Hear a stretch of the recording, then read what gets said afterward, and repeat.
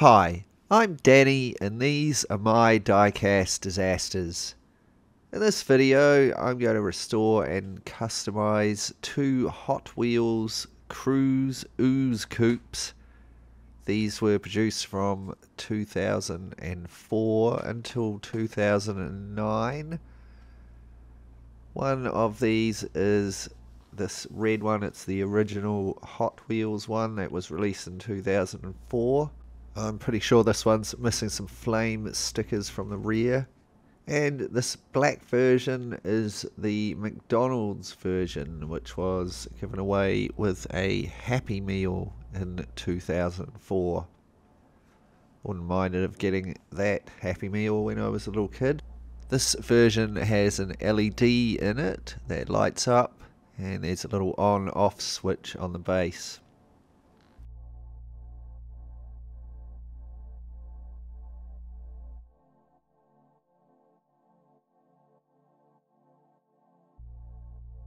Let's take our little Crooze coupes off of the turntable and take a closer look.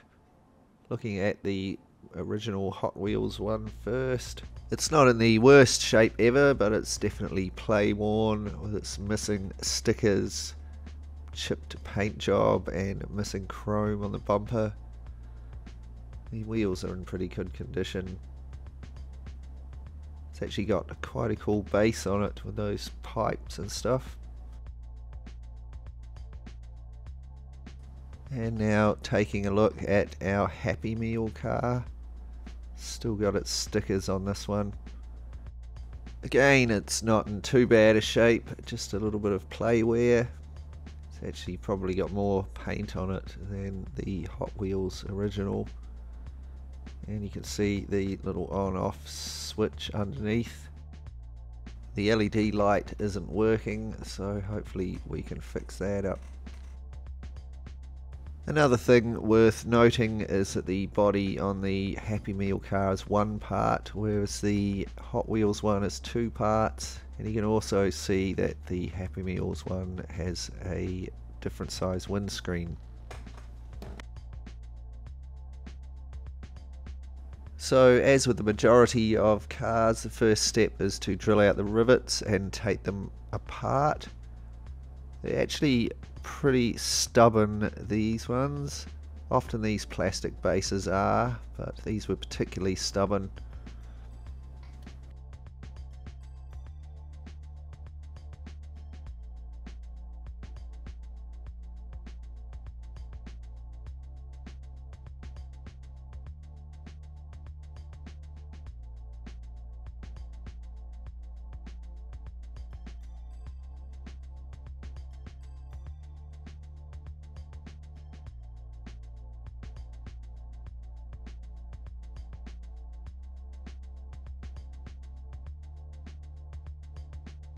There's a third very shallow rivet here holding the two body parts together. I've had to use a burr on my Dremel to remove the last of all of these rivets. They've all been very stubborn.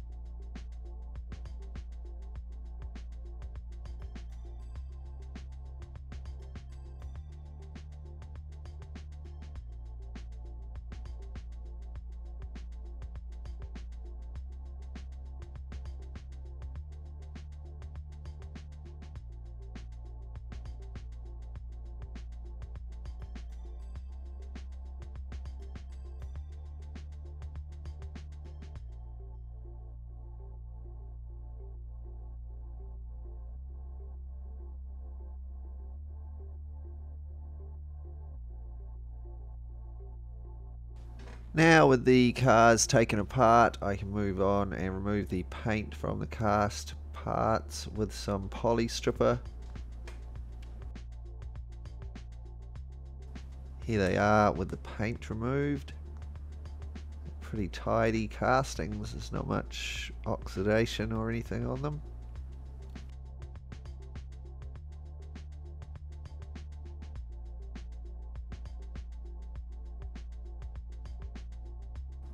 I can now use a wire brush on my rotary tool to remove any remaining scraps of paint and any of the oxidation that is on the castings.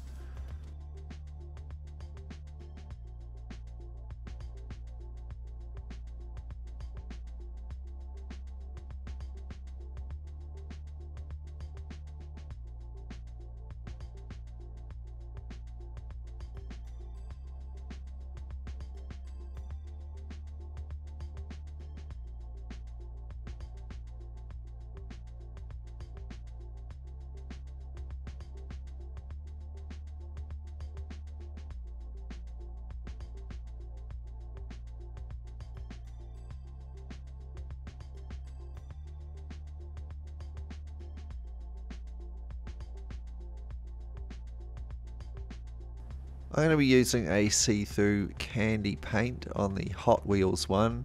So I use some polishing compound and a buffing wheel on my rotary tool to bring the body parts to a high shine.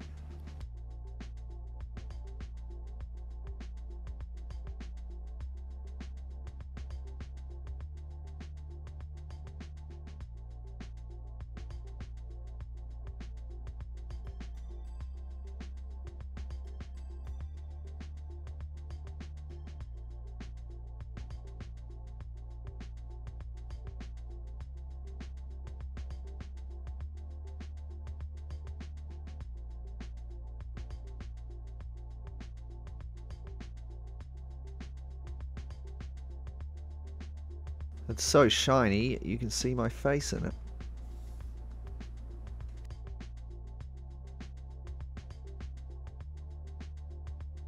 I'm not going to be painting the whole of the base in candy, so I focus mainly on the side panels.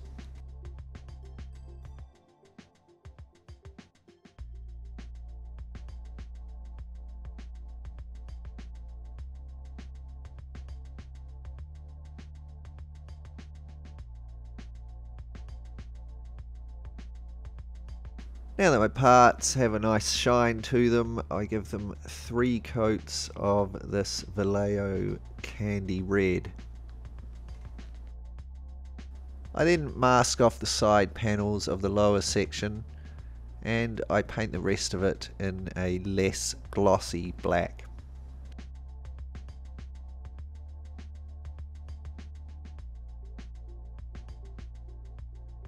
For the McDonald's car, I start by giving it a base coat of black. And I then paint it with this Mission Models Color Change Blue. While those are curing, I move on to the bases. This is the base of the Hot Wheels one. I'm just going to remove the wheels first by cutting out one of the tabs.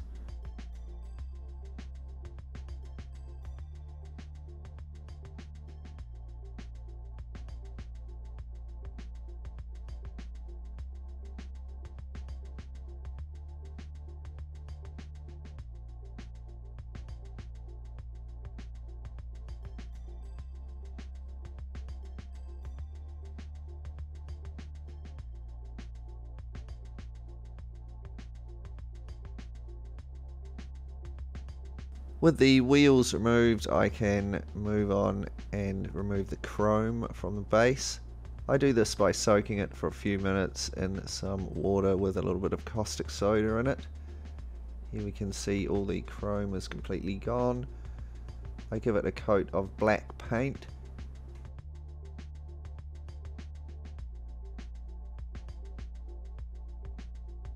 I detail in the grill in silver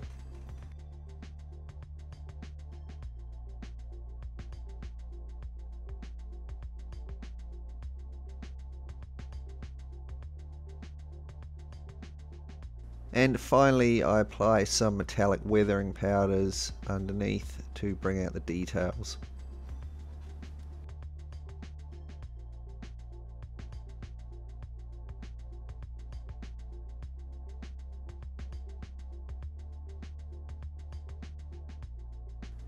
Looking at the McDonald's base now, you can see the little on off switch and here is the little LED setup I begin by popping out the old batteries. Hopefully I just have to replace these and it should work again.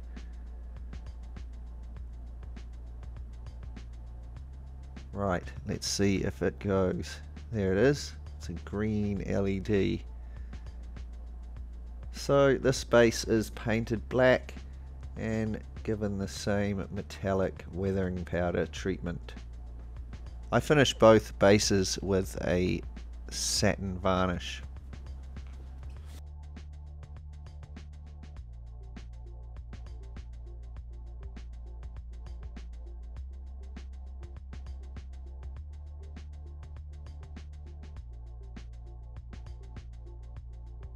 Now for the windscreens. This is a large clear section from the McDonald's car. There's actually nothing wrong with that apart from a little bit of rust gunk on it. The black windscreen from the Hot Wheels version has a bit of pitting in it so I give it a quick sand and then a polish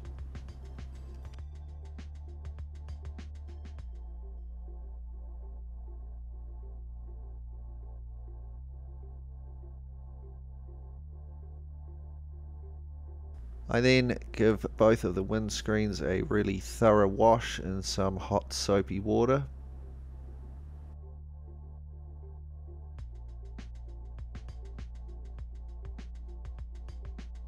I finished the black Hot Wheels windscreen with a little bit of blue metallic weathering powder. I then give it a coat of gloss clear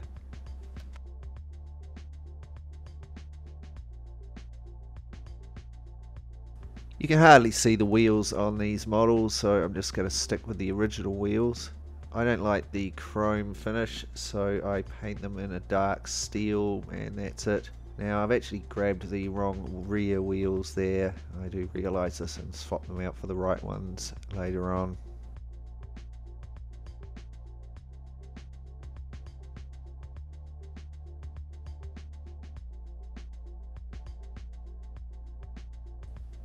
Here are all of our Crooze Ooz Coupe parts refurbished and repainted and ready to go back together. I'm really happy with the way these paint jobs have turned out.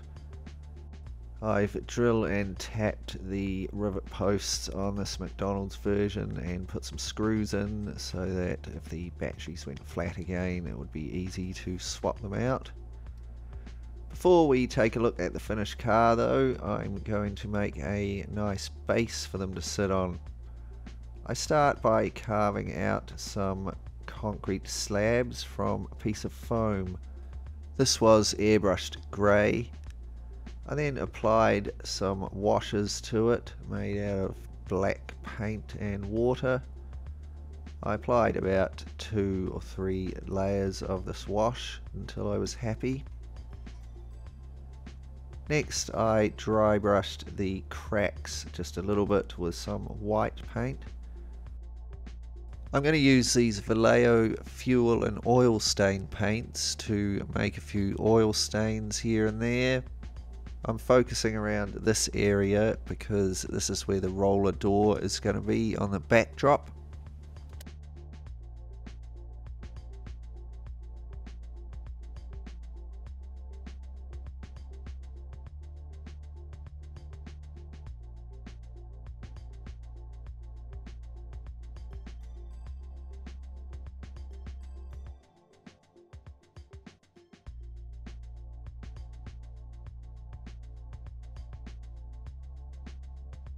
Once the oil stains are dried, I added some weathering powders to the concrete slabs.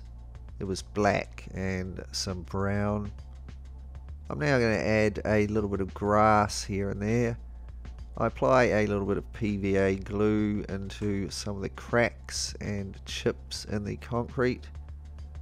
I then use my static grass applicator to apply some grass.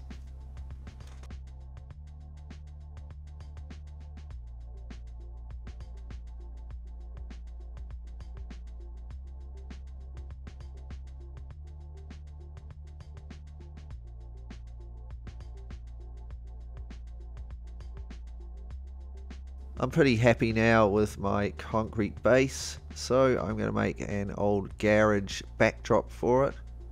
I start by cutting out this piece of styrene brick texture. I've made a little bit of a rough support at the rear here.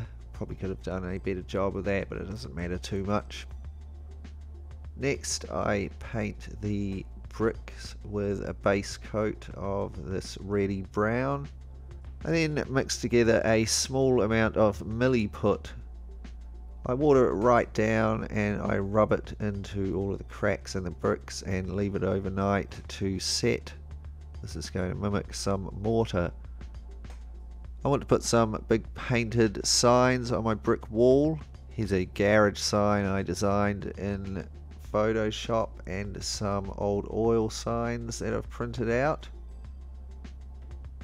I cut out the signs that I'm going to use and I sand the paper down as thin as I can.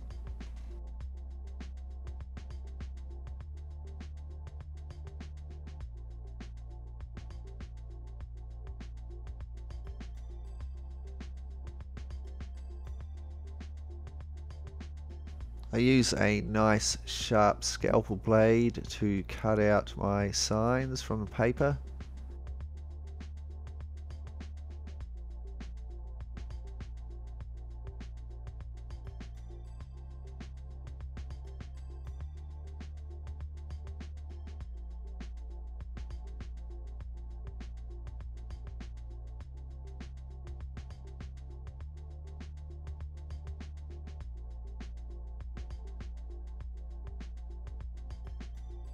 Before I stick it onto the walls, I'm just going to sand the edges a little bit. I should have actually done this from the other side. I've learned this technique from Jason Jensen Trains. He does some absolutely stunning building models. He's also much better at this technique than me. I paint the back of my thin down sanded paper sign with some slightly watered down PVA glue.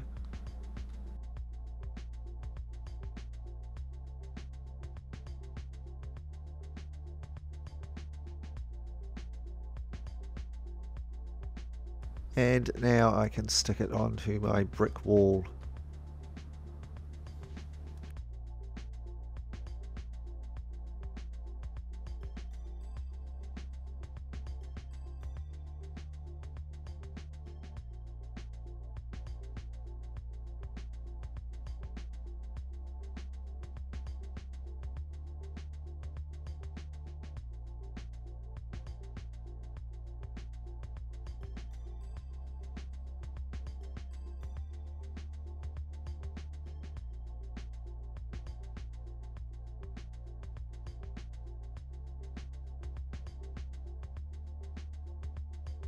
I repeat this method for a few more of the signs and for my big garage sign.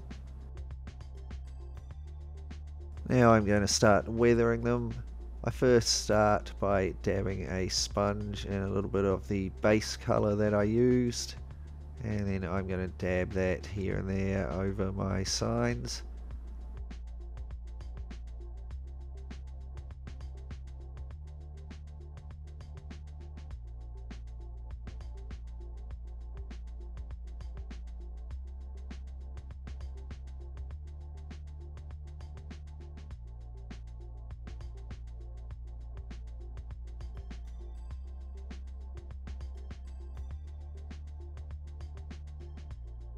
I add another couple of shades of browny colour as well.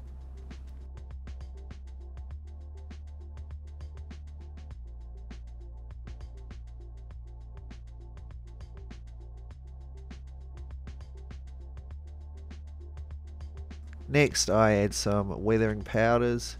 These are just ground up pastels that I'm using.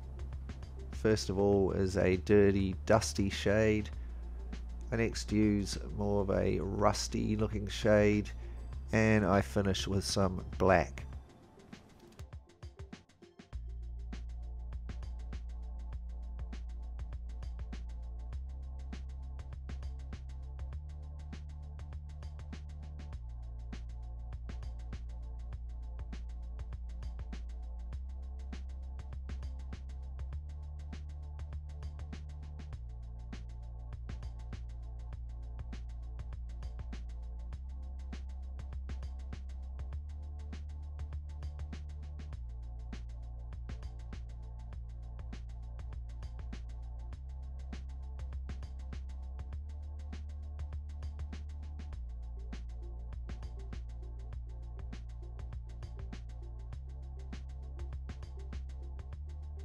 Now to add a roller door to my garage, I cut out my roller door from some styrene sheet.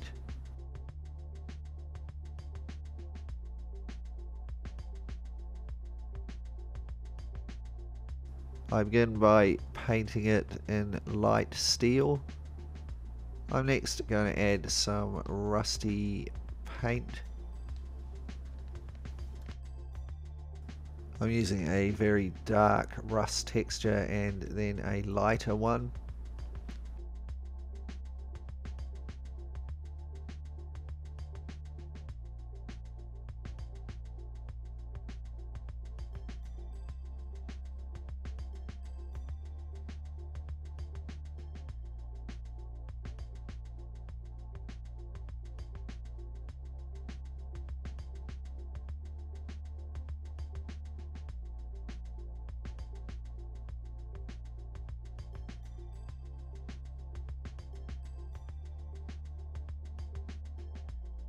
I finish off my roller door with some weathering powders.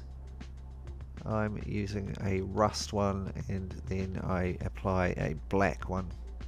So after quite a bit of work our diorama and cars are assembled and ready to take a look at. But just before we do we better take a look back and be reminded of what we started with here is our Hot Wheels Crooze Ooz Coupe from 2004. It's a pretty nice colour, but it's looking fairly beat up and play worn. So let's see if we can give it a makeover.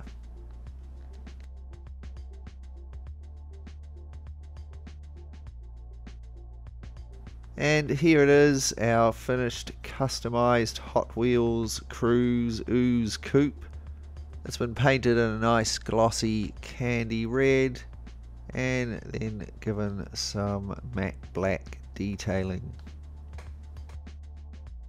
I always like the way this Vallejo candy red comes out. It's really cool looking and the satiny matte black detailing really makes it stand out.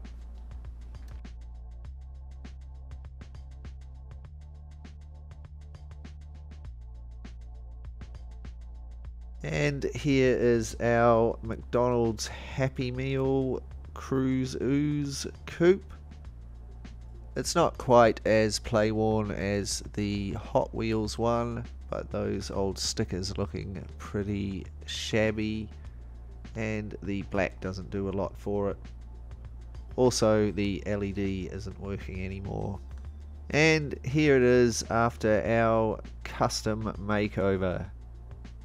The boring old black paint job has been replaced with this interesting metallic blue.